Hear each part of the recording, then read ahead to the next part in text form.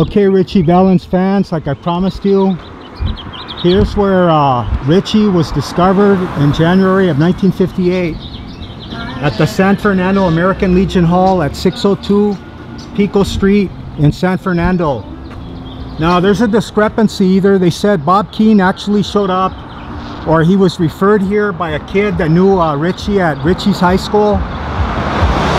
Doug Machia, as he was delivering uh, business cards to Don Keane's house in Silver Lake, he told him, hey man, you got to hear this guy. We call him the Little Richard of uh, the San Fernando Valley.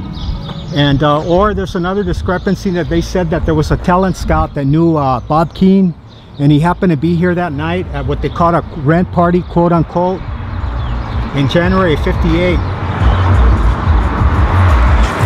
He was playing with the uh, Silhouettes, his group that he, he uh, joined at 16.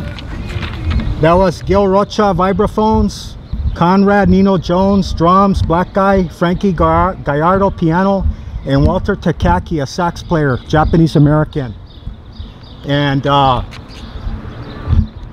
this just uh, Ritchie's fast trajectory in life. It was only eight months from May when he got signed to Bob with Bob Keane to uh, February of, of 1959 when the day the music died. It only lasted eight months and here you go. The American Legion in San Fernando. And thankfully it's still here, original, looks exactly the same it did. And here on what would have been uh, Ritchie's 18th birthday, Connie accepted the gold record for Donna at a poignant memorial dance that they had here and there's a photo you can see on YouTube uh, on the internet. Uh, Ritchie he uh, he influenced a lot of Hispanics in America. And uh, Los Lobos were influenced by him. Selena Freddie Fender even Bob Dylan. The Midnighters from East LA Trini Lopez the Rascals from New Jersey and even REM I think they're British. Uh, La Bamba became the model for the 1961 Isley Brothers hit Twist and Shout. That's where, where that song came from. And I was going to say a factoid about Ritchie. He pioneered the use of rhythm guitar as a lead rock and roll instrument, a style which inspired uh, Johnny Ramone, Robbie Robertson of, of the band, who backed Bob Dylan, and Pete Townshend. And if you want to know what that means, is just listen to the opening bars of uh, Pinball Wizard, and that's like a rhythm guitar with just chords used as lead. So uh, during during uh, his lifetime, believe it or not, there were only three records. There weren't even any albums because his his uh, career was just so short. And I'll tell you what they were. The first one was uh, "Come On, Let's Go." That reached number 27, and "Framed." That was a B-side. And then Donna reached number two. La Bamba 20, uh, number 22 in the Billboard charts in December of 1958. And then a third 45 Fast Freight and then Big Baby Blues.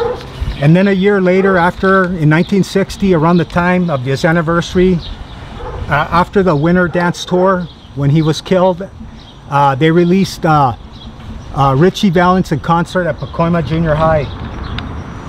And at this American Legion, he was playing with the Silhouettes. His band that he, he uh, joined at 16, that was Gil Rocha on vibraphones. Like I said, Conrad Nino Jones, drums, Frankie Gallardo, piano, and Frank, Walter Takaki and, and on, on sax. And that's pretty much way ahead of its time because it's a very multicultural band at the time. Uh, he was still, he was, he had just graduated from San Fernando I mean, I'm sorry, Pacoima Junior High School in 57 and he had started at San Fernando High School in 58. And uh, thankfully this place, it looks original. And uh, okay, and I just want to say one more thing. When Gail Smith asked him on the way home from Guardian Angel Church what he would do if the plane crashed. He said, hell, he goes, I'd land on my guitar, he said. And then another factoid about my little Susie. That was uh, Connie's friend's little daughter, and she had a club foot. and she was the sweetest little girl, girl with the biggest, prettiest brown eyes, a beautiful smile. And when she walked, she'd walk walk to the she'd rock to the left and rock to the right, and then and then Ritchie would say, "That's my little Susie," and he wrote a big hit, and uh, it was a great song. So too bad we lost this guy, this young man, this wonderful artist, the first Hispanic American rock and roll star. Eight months and it was gone. So let's hope he's in a better place. And God bless you, Ritchie, wherever you're at. Good night, good night, sweet prince.